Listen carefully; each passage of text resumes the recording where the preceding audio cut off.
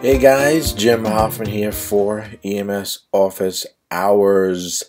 Um, guys, thanks for joining me for another episode. Um, I hope you're getting some use out of these. Uh, again, I'm breaking them down into shorter segments uh, so you can really kind of digest uh, what I'm putting out here. Okay. Um, today, going to be part five of the cardiovascular emergencies, talking a little bit about assessment and management.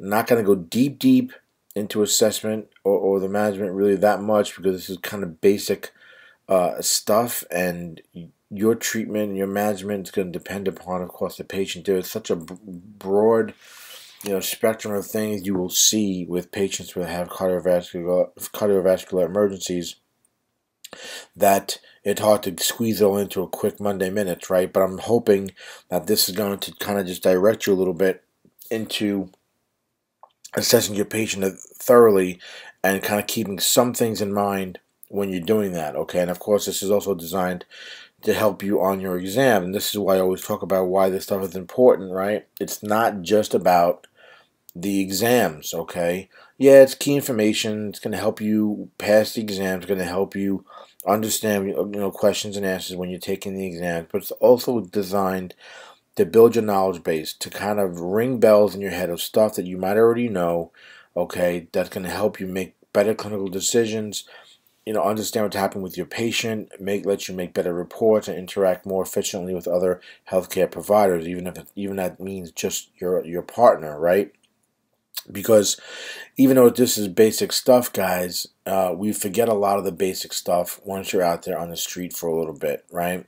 So it's important, I think, for us to always kind of go back once in a while, refresh our memory a little bit about what it is that we should be expecting to see and what it is we should be expected to be doing for our patients, right? So I want to get into this, guys. Again, this is a short episode because I'm just talking about assessment and management, basic stuff here, guy. You look at me probably looking at this stuff going, what are you even talking about, Jim, right? Well, of course, you know, we have to always think about, and this is important, guys, on, on all patients, but I think it's very important we talk about the cardiovascular emergency as well, right? The patient's level of consciousness, you know, if they're confused and stuff like that, it could be an issue of perfusion, and it's important to note that type of stuff. Okay, uh, your ABCs or your CBAs, right? Your airway, your breathing, your circulation. Okay, that all kind of ties into the cardiovascular event that might be happening. Okay, especially if the cardiovascular event is something like the patient being in arrest, right? So your ABCs are vital there. Okay, taking a sample history. It can really help you, believe it or not, knowing the patient's signs and symptoms, what allergies they have, what medications they're, on. Are they on cardio, cardiac type medication, blood pressure medications, even if they're, they're on diabetic type medications, right? What's their past medical history? Have they had cardiac events in the past? Do they have a fib? Do they have a uh, an ongoing um, first degree block? Uh, do they are they known to throw irregular heartbeats like PVCs or PACs? Right. Um, what was their last intake? A lot of times, people that eat very big meals can tend to go ahead and have a heart attack, right?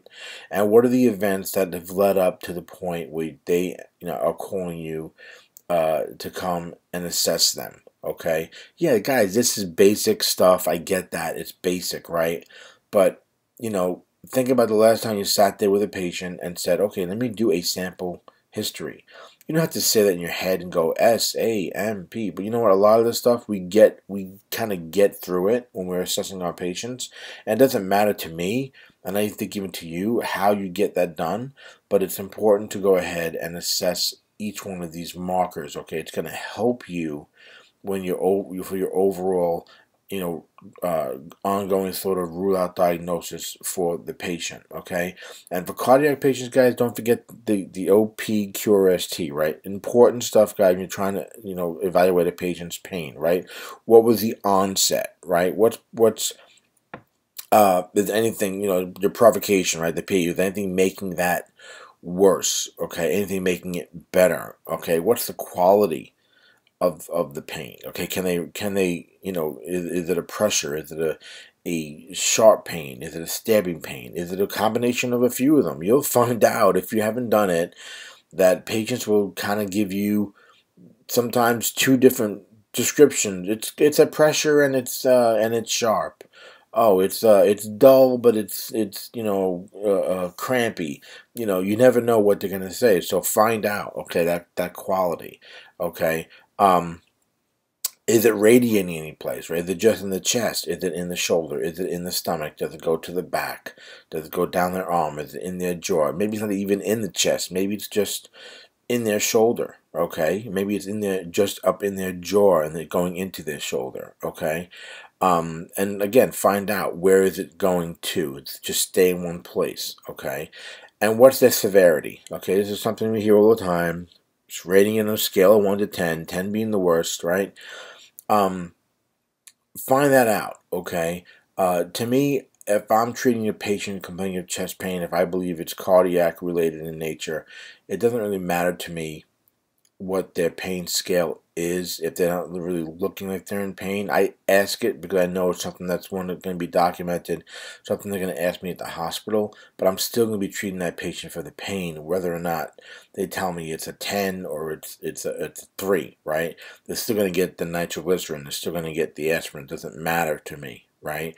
It might help me judge whether I'm going to start getting uh, uh, more advanced pain management like fentanyl or something like that.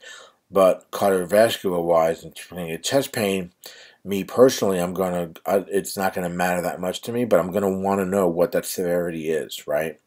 And time, right? How long has it been going on for? Did it just start 10 minutes before they called you?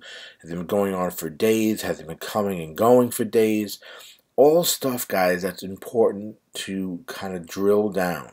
It's going to help you decide and help you lead you on the way whether or not it's cardio, cardiac related or maybe it's something else. Okay. Now, some stuff, guys, when we talk about uh, our assessment too, right? Again, I just talked about detailed exam, right? You're not just taking that history, but you've also got to go ahead and put your hands on the patient, as look at the patient. Do they have JVD, right? Um, when you palpate their chest, uh, uh, is the pain increasing? Is it getting worse? Does it change, right? Do you feel anything weird when you're palpating their chest? And their epigastrium, check that as well, okay?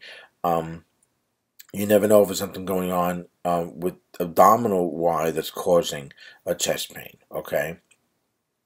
What about their vital signs? Guys, this is common common stuff, right? But a lot of people don't do the whole gamut, right? It's not just about taking a blood pressure and a heart rate, right? Look at their color. Look at the condition of the patient's skin, the overall appearance, right? What's their pulse oximetry, okay? Uh, what's their skin temp? Are they clammy? Are they warm? Right? All this stuff goes into it, guys, okay?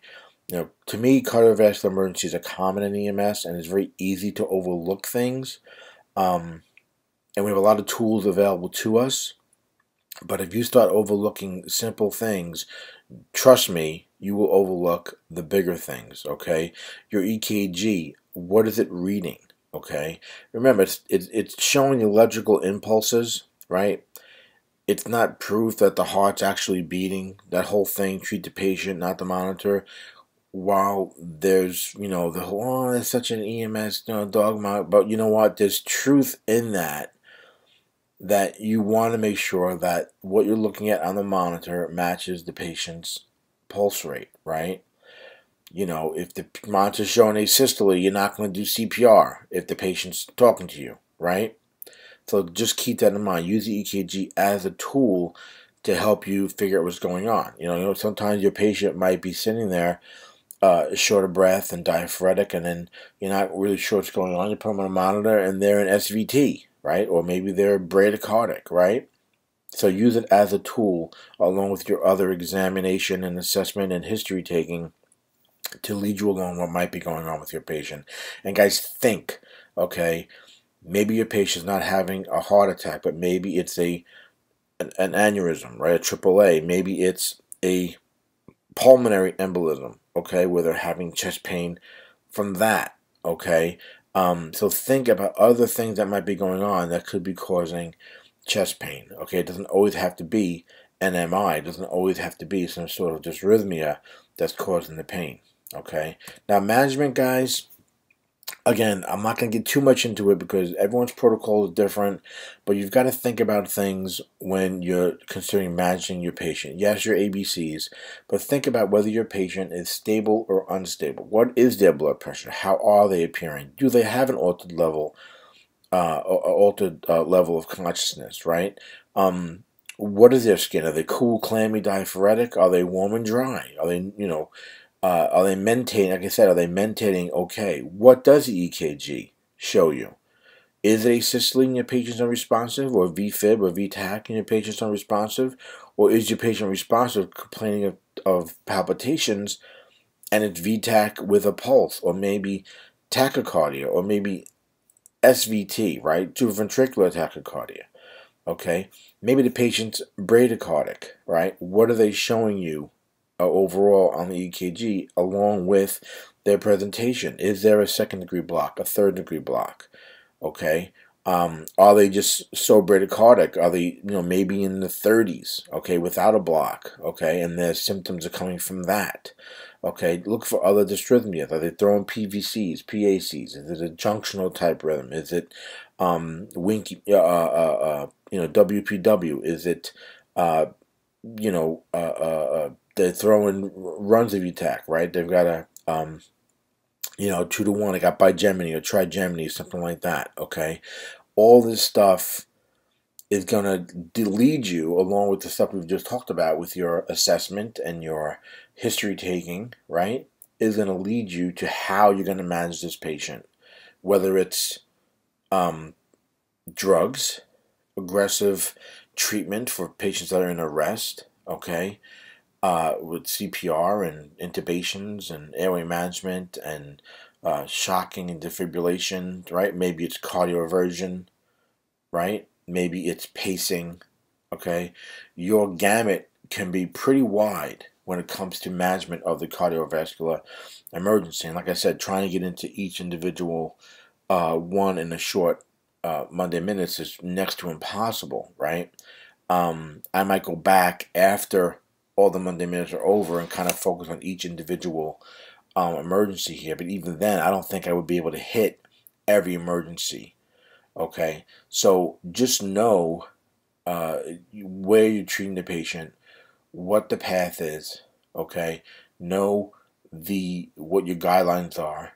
Okay, and again, this these are key elements, right? Uh, uh, for exams, not just for what you're actually treating, the key elements for your exam. So, what is the basic treatment for a bradycardic symptomatic patient, or what's the, the treatment for a bradycardic patient that's that's stable and not really symptomatic? Okay, this is going to help you passing your exam. So, if you're confused, you're not really quite sure what to do for these patients, right? VTach with a pulse versus VTach without a pulse, right? What are your steps there, guys? Where are you? Falling into knowing which is which and what you're going to do, right? Because that's going to help you when it comes to test time, or because you might get get questions that ask you what to do for a patient with VTach and they have a pulse, right? What type of are you cardioverting that patient, right? Or are you going to do medications first? Is it depend upon it's VTach with a pulse and they're stable versus unstable, right? So if you're not sure, open your textbook, guys. Crack it open figure out what what each of these types of things you would do for a patient so that come exam time you have an idea of what you're actually going to do okay? Because again each one of these really to me is a way to be going back to the very very beginning of the video each one of these sections stable knowing stable versus unstable knowing VTach knowing types of bradycardia knowing types of dysrhythmias right this goes back to not just knowing key elements to pass an exam, but it's also understanding and building your knowledge base on each one of these segments here, guys. All right, this stuff is vital. You don't want to sit there scratching your head when you've got an actual live patient in front of you who's got SVT or who's got a symptomatic bradycardia, who's unstable, and you've got to do something, right? passing the test is not going to help you with that patient treatment. Knowing what to do, building a knowledge base, and understanding all these different different types of presentations will help you. Okay, so if you're not sure, again, crack open that textbook, man. All right, understand this stuff, okay? Um, because it's going to make a difference, okay? And you'll be more confident and you'll be more comfortable, not just when you're taking your test, but also when you're encountering patients with these different types of issues. And again, I can't cover everything. I can't even list half everything here just in this one slide here, trying to tell you all the different types of, of uh, cardiovascular emergencies and events that might be there, right? This is just a kind of an overall view, okay? Sort of like that uh, 10,000 foot view for you to kind of get your mindset going, get you pointed in the right direction. All right, guys, I hope this makes sense. Um, I'm going to actually be doing uh, one more of these videos to wrap up cardiovascular emergencies. I'm going to get into some of the other causes of chest pain, okay? Um, and talking about, you know, uh, MIs and aneurysms, stuff like that. I'm going to kind of go into that next time uh, on the Monday Minutes. Um, guys, I hope you will engage with me on social media. You can get me on Facebook. It's uh, facebook.com forward slash EMS professional. Or get me on Instagram or Twitter. I'm more active on Instagram it's at EMS Safe is the uh, the username for both of those. Check me out on either one of those. Love to engage with you guys. Love to have you guys follow me and, and commenting and liking and all that good stuff. It's, it it just really you know uh, motivates me uh, to keep doing stuff. And I, I, do different things on each of each of these channels. Um, and guys, if you feel like you're struggling, you need some more help, you want get drilled down more into stuff, um, go check out emsseo.com. Okay, um, there are practice exams there, all right, but there's also a lots of stuff there, guys, to help you increase your knowledge base. There's some presentations there. There's free downloads. There's study guides. There's videos. There's audio. There's actual uh, a video there you can get for free on cardiovascular uh, emergencies. Okay, um, just go to the site, go to the free section, and you will see uh, a post there um, that Michael Smith did with me on the cardiovascular, uh, cardiac emergency patients, okay? And not necessarily, like I said, for asystole and treating cardiac arrest patients, but other things you need to do when you're assessing your patient. A very, I what I think is a very powerful uh, uh, uh, presentation there. I'll go ahead and put a link directly to that in the notes here if you're looking at YouTube, you can get it there, or I'll put it in the show notes at the blog at EMS Office Hours as well. So you can go right to that if you're interested and uh, go ahead and check out that presentation. Again, it's free. Just got to sign up for it. No big deal. Um, that's it, guys. Um, again, if you have comments, concerns, questions, you want to see something here on the Monday Minutes, I'll take a break from the quick study tips and put something in that you want to see here on the Monday Minutes, um, go ahead and contact me. My email is contact at emsofficehours.com, or you can go to the blog at EMS Office Hours, leave me a comment there, or again, go to any of the social media platforms and you can direct message me there as well, and I will get back to you and we can discuss something that maybe you want to see on the Monday Minutes, or some maybe you want some clarification. I can point you in the right direction on stuff that you've seen here on the Monday Minutes. All right, guys, that is it. I hope you have a great week. Uh, again, thanks for watching. As always, I'm Jim Hoffman for EMS Office Hours and the Monday Minutes. Stay safe.